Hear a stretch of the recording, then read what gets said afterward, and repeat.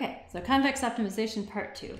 Now in the previous video, we talked about how we want to solve this particular optimization problem where f and the gi are convex and h, the h's are affine.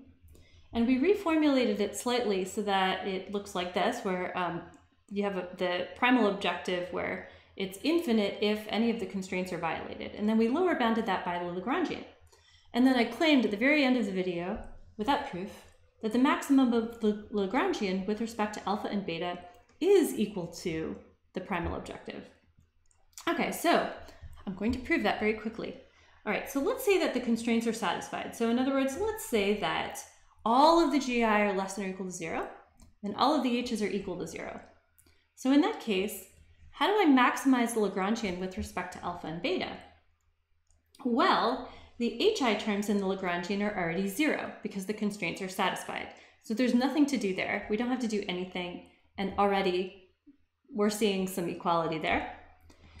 Um, the GI terms, though, are, as, as we know, they are non-positive. So if we want to choose alpha to maximize the Lagrangian, how would we do that?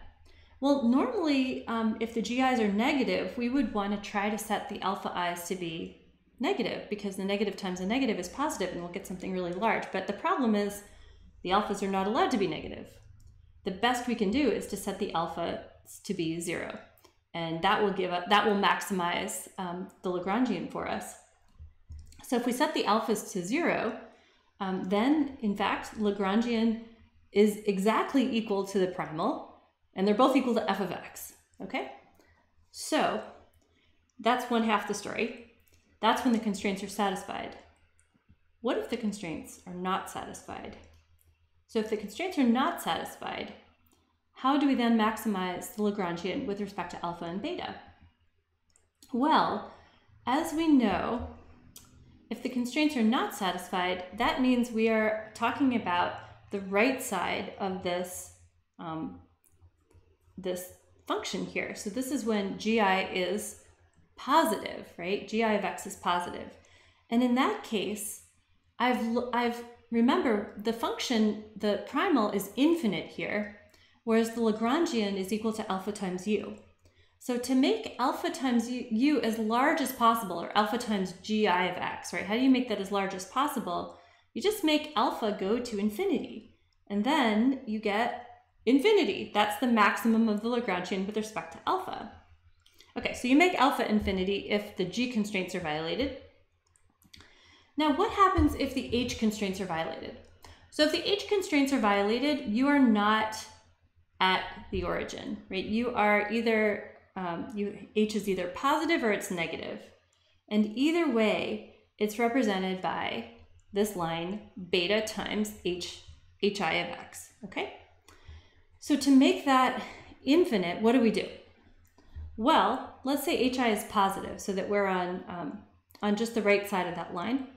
So in that case, what we can do is make beta positive and as large as possible. Like make beta infinite, great. Now, on the other hand, if hi is negative, then we can set beta equal to negative infinity and force that line all the way up back to um, infinity. And so in that case, again, no matter which constraints are violated, when you maximize with respect to alpha and beta, you get something that is infinite. So the maximum of the Lagrangian with respect to alpha and beta, no matter whether the constraints are violated or whether they're not, no matter which constraints are violated, you get back to the primal. Okay, so the maximal alpha and beta get us back to the primal objective. So I can now write that the primal objective equals the maximum of the Lagrangian with respect to alpha and beta, keeping in mind, of course, that everything goes goes crazy if alpha is allowed to go negative, um, because then the Lagrangian is no longer a lower bound for the primal. So we have to make sure that alpha is greater than or equal to zero all the time.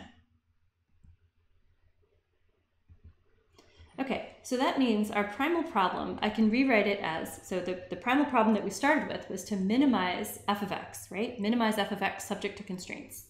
So that's the same thing as saying minimize the primal objective with respect to x And then, since the primal objective is equal to the maximum of alpha and beta of the Lagrangian, I can just stick that right in there. And now I have a new version of my primal problem. Okay, so I just want to finish with a little bit of terminology here. So the primal objective is called theta p, we know that already. The solution of the primal problem, I'm going to call it x star. So star means optimal. And then p star is the optimal value of the primal objective, okay? And then um, if the constraints are satisfied, if the constraints are satisfied, then we say that x is primal feasible. So feasible, all feasible means is that constraints are satisfied.